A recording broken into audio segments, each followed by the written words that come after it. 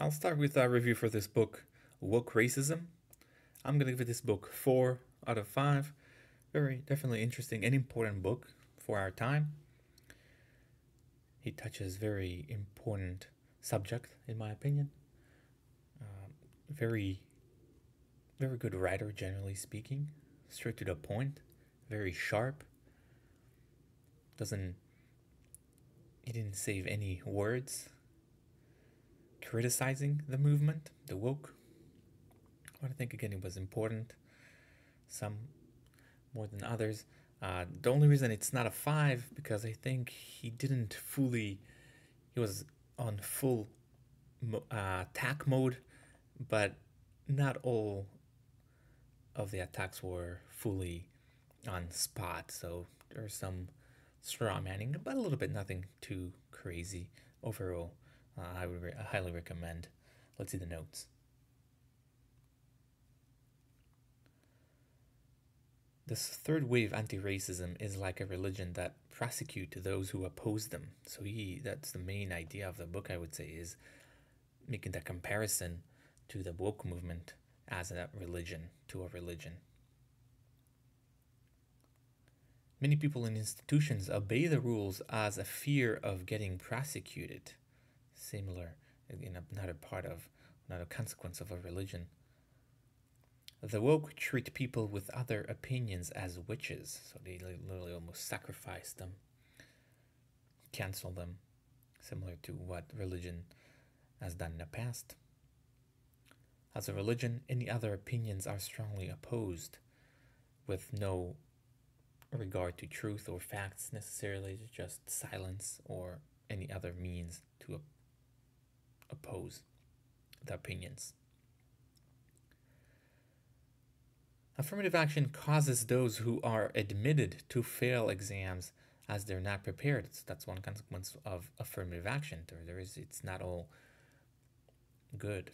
One bad part of affirmative action is that whoever comes through that system often fails the exam.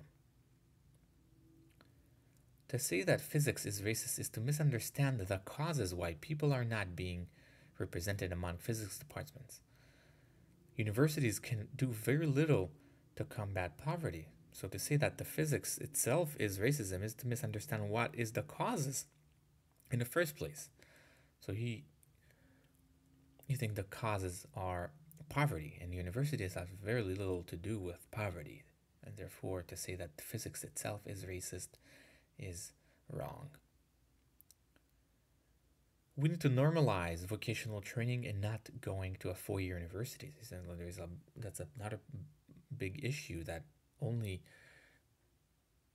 going to a four-year university is, is the only way forward, even though there is vocational training and many other jobs in areas that are very good for people, high earners, and they can make good money of it, and they're respectful, respectable. Side note, some of the solutions proposed seem to be overly optimistic. So he has some solution what to do instead, how to combat racism and poverty and things like that. Some of them are a little too optimistic.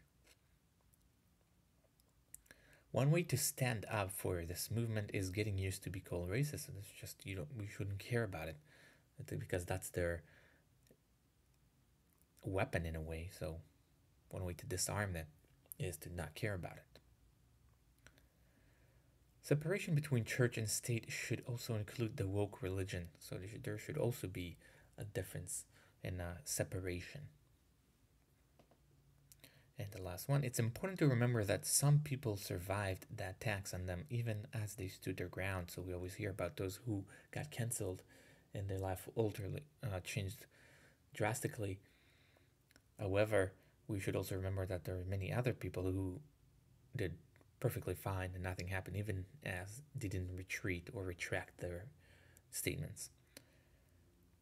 So that is for the notes. Again, I would highly recommend four out of five, maybe even a high four. Good writing, short, straight to the point, and some very good criticism of the movement. Thank you.